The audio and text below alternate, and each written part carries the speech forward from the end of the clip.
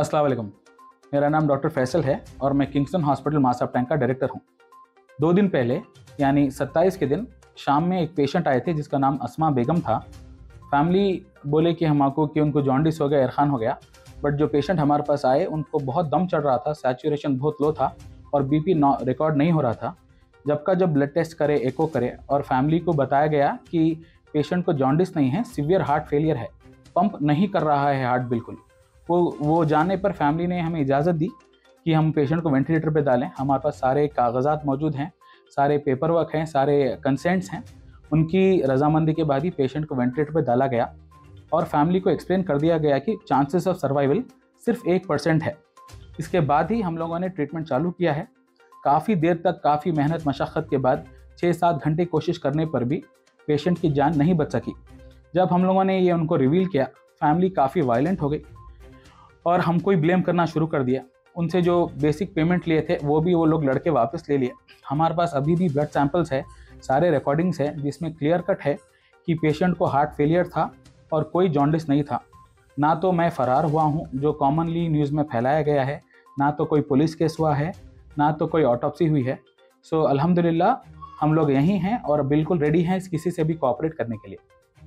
जो फैमिली का कहना है कि पाँच घंटे तक किसी को मिलने नहीं गया है मिलने नहीं दिया गया है, वो एब्सोल्युटली झूठ है गलत है, मेरे पास सीसीटीवी फुटेज है कि एवरी हाफ़ एन आवर को उनकी बहन, उनके हस्बैंड और उनके एक भाई, वो आए हुए थे, उनको मैं रेगुलरली बता रहा था अपडेट दे रहा था।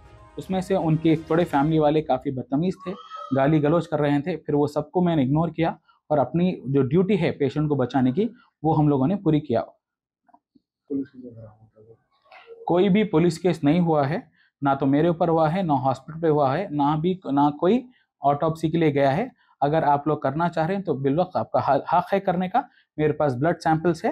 प्लीज़ गो अहेड और ताकि हमको भी और दुनिया को पता चले कि सही क्या चीज़ है। एक और चीज़ आपको मैं बोलना चाहूँ, काफ़ी फैमिली बहुत वायलेंट हो गई, बदतमीज़ हो गई। पुलिस भी कोशिश करी बट कंट्रोल नहीं कर सकी। इन दौरान हमारे हॉस्पिटल के एक डॉक्टर पे भी हाथ उठाया गया, जो बिल्कुल इलीगल है और गलत चीज़ है। मैं चाह रहा हूँ कि इसके ऊपर भी एक्शन लिया जाए।